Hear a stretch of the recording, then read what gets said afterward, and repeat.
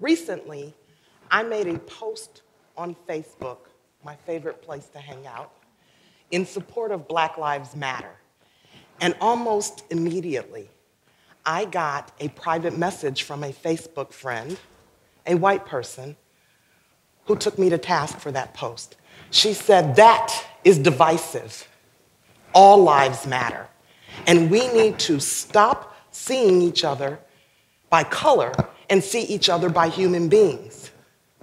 She continued, When I look at you, Traci, I don't see color. I see an intelligent woman, an attorney, a good person. Now, this Facebook friend paid me a nice compliment, but I have heard over and over and over when I look at you, I don't see color. And I confess that sounds like a really good thing, doesn't it?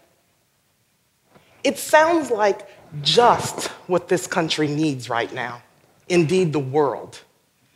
To focus on our shared humanity rather than something divisive like color. Doesn't it?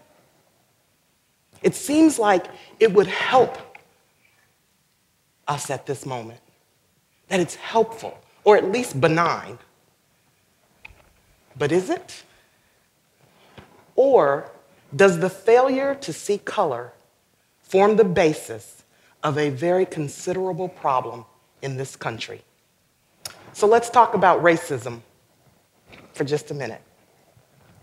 There is ample evidence and research that racism exists in every institution in this country. It exists in our criminal justice system where people of color, particularly black men, are profiled and pulled over more often by the police, charged with more serious crimes, convicted more frequently, and sentenced more harshly than our white people. In fact, although blacks and whites use drugs at roughly the same rates, black people are six times more likely to be arrested and convicted for drug offenses. Racism exists in our healthcare system. I read research recently that documented that black people are sometimes mistreated for pain under the misguided notion that we have higher pain tolerances than white people. Therefore, we don't get the appropriate pain medication to manage our pain. Racism exists in our educational systems, where black children are three to four times more likely to be suspended or expelled from school than are white students for similar or same behavior, thus greasing the skids for the school to prison pipeline that is so prevalent in this country. Racism exists in our workplaces, where black folks are 36% less likely to receive a callback for a job than are white people, a stat that has not changed since 1990. And racism exists even for someone, as my Facebook friend described, an intelligent woman, an attorney, a good person. I'm reminded of a story, my story, one morning when I had to be in court. I had, it was gonna be a busy morning, two cases up, two different courthouses in two different counties. As I entered the first courtroom and stood in line to check in with the clerk, I waited my turn behind two white attorneys a white male and a white female. And when it was my turn, I stepped up and started to introduce myself and try to check my client in and check my case in. When the clerk rudely interrupted me and ordered me out of that hallowed area in the courtroom where judges and bailiffs and clerks and attorneys hang out. And she ordered me to go sit with the rest of the defendants in the public seating area. Now, I finished up my business at that uh, courthouse, and I raced over to the other county, to the other courthouse, and before entering the courtroom, I stopped at the clerk's office and to file something, and I got in line in a line that overhead had a sign hanging that said, for attorneys only. And I waited in line behind two white men.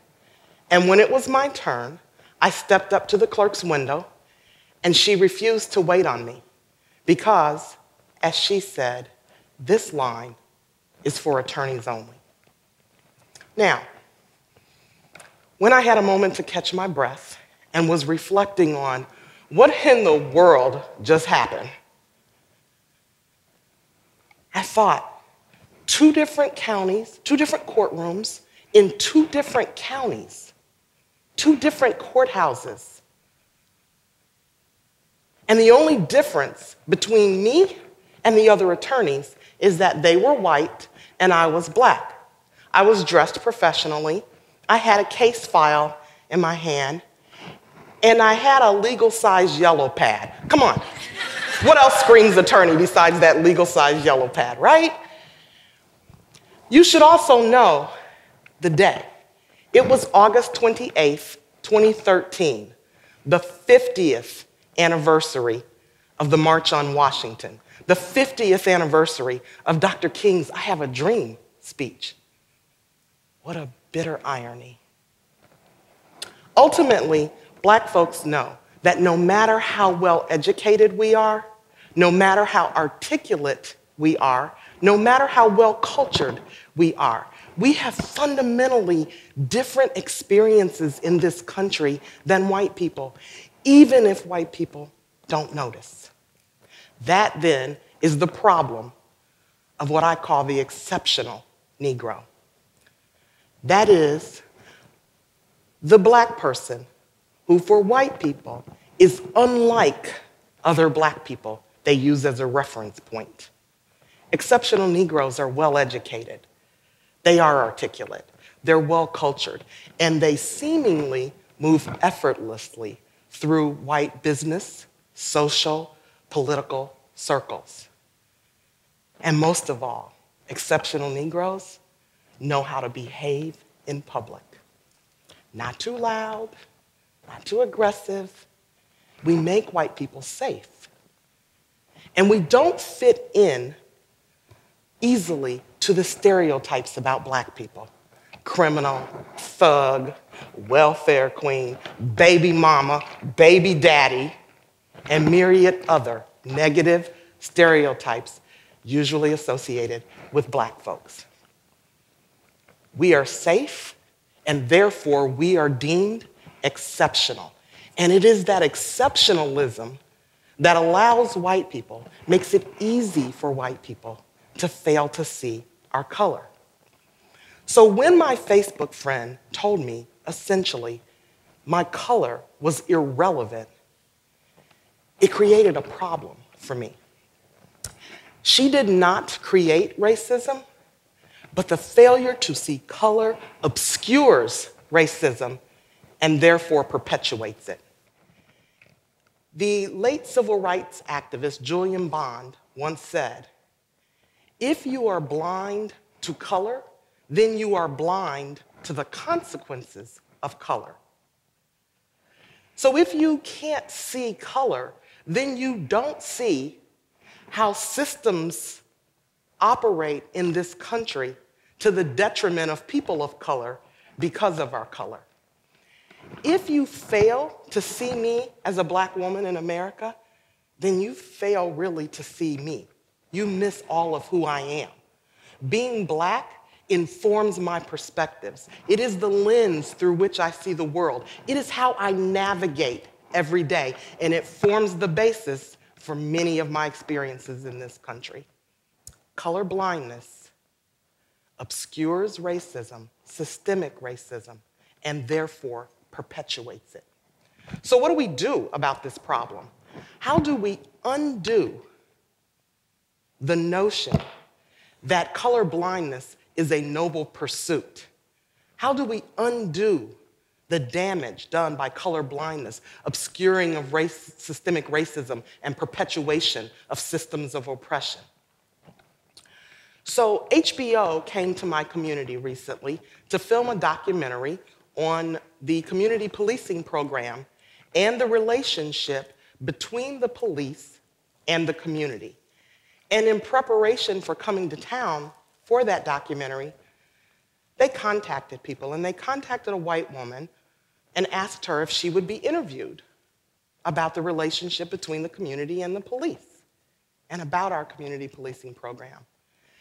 Now, this white woman could have told a very lovely story of her zero interactions with the police.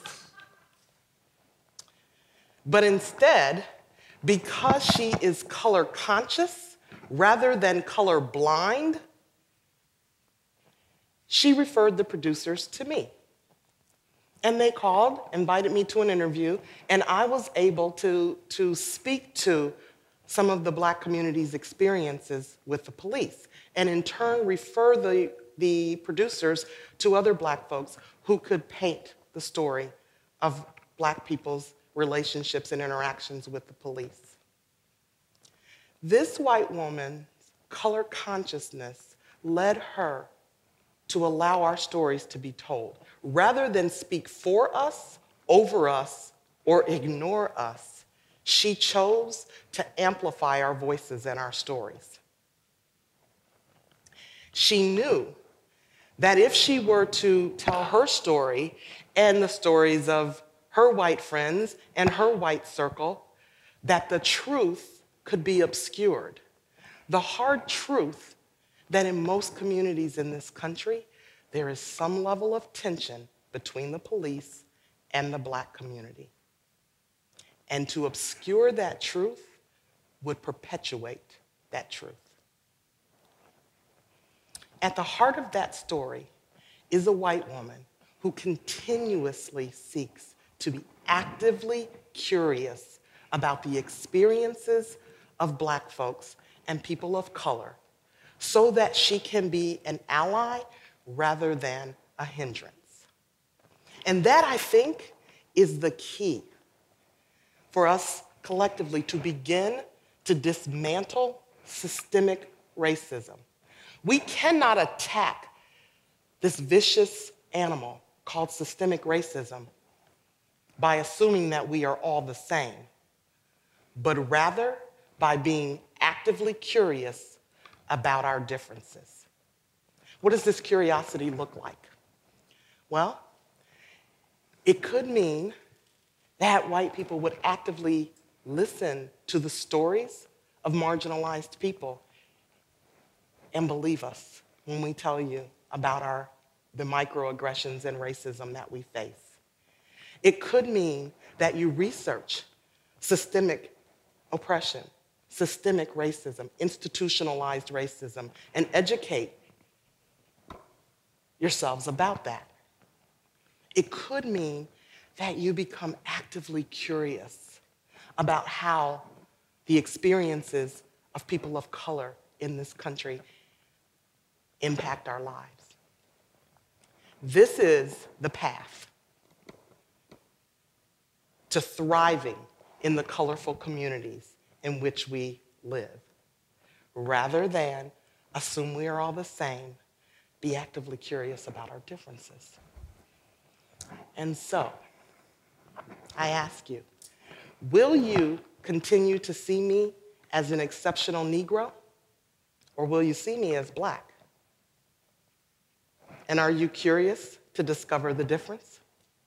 Thank you.